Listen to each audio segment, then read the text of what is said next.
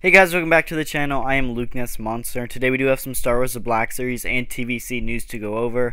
So if you are new to the channel, consider hitting that sub button. I do really, really appreciate it. It means the world to me. And I do want to thank everybody for all the recent support. We are actually doing a giveaway at 5k. If you're not subbed, please hit that sub button because you do have to be subbed to enter the ARC Trooper Echo giveaway. Basically how that'll work, once we hit 5k, I'll make a giveaway video. All you have to do is make sure you're subbed and then comment on that giveaway video to enter and I'll pick a random winner from the comments of that video. So yeah, super hyped for that. You do have to be subbed to enter though. So like I said, hit that sub button and also the like button also helps as well. Anyway, let's just jump right into the news. First up, Yakface on his Instagram actually teased this vintage collection logo, which is weird because it actually looks like the Book of Boba Fett logo. And that is basically teasing the fact that Vintage Collection is going to be getting Book of Boba Fett figures. And if I had to guess, it means they're going to be getting it pretty soon, which I am super hyped about. I'm, I mainly collect Black Series, but uh, TVC has been doing really good lately, and I cannot wait to see some TVC Book of Boba Fett figures. I think it's going to look great, and uh, if I did have to guess, they'll probably be released around the same time as the Black Series version. Anybody looking for Archive Wave 5? This is the Archive Wave with the 501st Trooper, Obi-Wan, uh, A New Hope Leia, and Revan. This wave has actually been hitting Walmarts a ton. I know just today I've seen a ton of posts on Instagram and other places saying like, hey, these are now hitting stores today. So if you are looking for this wave, check your Walmart because they might have just got it in stock.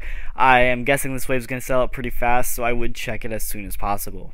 I don't normally cover Hot Toys news, but Hot Toys actually did release two brand new figures, and they look absolutely incredible. First up is Captain Vaughn. This guy is absolutely incredible. I really do hope we get him in the Black Series one day. But yeah, this guy looks absolutely incredible. He comes with a ton of alternate hands, an extra hologram accessory. He has his jetpack, a ton of stuff that goes with him. He does look really, really cool. And uh, yeah, might be a definite pickup. I don't know yet. I don't really collect Hot Toys. I don't have any, but this one might be a first. And to go alongside Vaughn, we also have Arc Trooper Jesse, which looks absolutely incredible.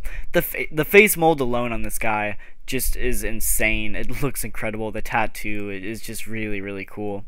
And then the armor has like a really nice scuffed weathered look. It, it just looks absolutely incredible. I'm super impressed with how this armor came out. And uh, hopefully that means since they're making a new ARC Trooper armor for Hot Toys, that they'll go and look back into an ARC Trooper Fives and Echo because 100% I'm buying Fives, no questions asked. So, you know, Echo might take some. Uh, a little a little motivation, but there's no question I'll be getting fives. So hopefully they go back and decide to do fives because that'd be absolutely incredible. Over the last week, Walmart exclusive Rampart, Bad Batch Rex, and the Clone Shock Trooper all went back in stock at Walmart.com, and they have been shipping out very recently as well.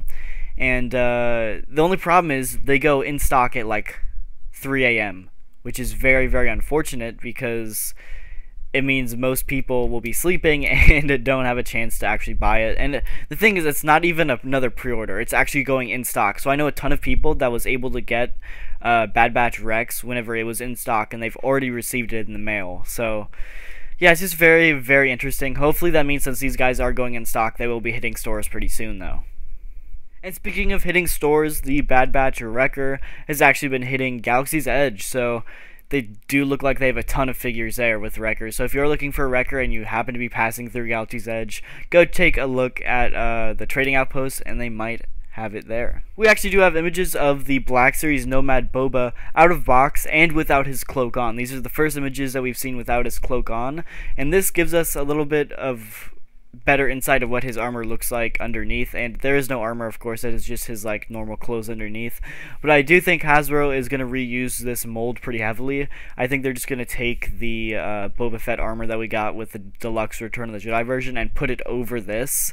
I think it fits pretty well and uh, like if you look at the actual photos of Boba's armor this is pretty much what it looks like underneath. So I would be pretty happy with them just throwing the different armor pieces on over top of this. So hopefully they find a way to make it look good though, and I, I cannot wait to actually start seeing images of the Book of Boba Fett Boba Fett figure, which is really hard to say. I know that sounds weird, but you know, you can always say like, hey, it's Bad Batch Tech, but it's Book of Boba Fett Boba Fett. It just sounds really weird.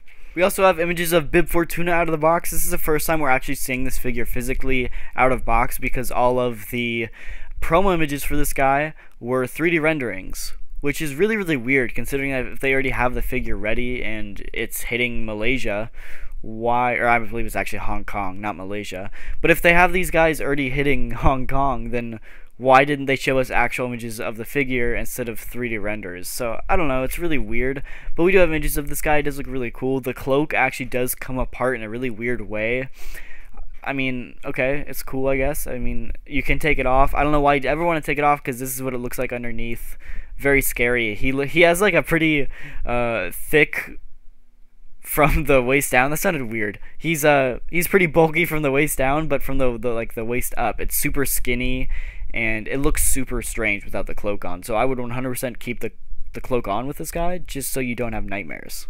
The mystery holiday figure has actually been showing up in Walmart system, and as of right now, it is only one figure. So we don't know if we're going to be getting a whole new wave of holiday figures or if it's just going to be one figure. But it is showing up in Walmart system, so hopefully we're going to be getting this figure pretty soon, considering that it's already a week into November.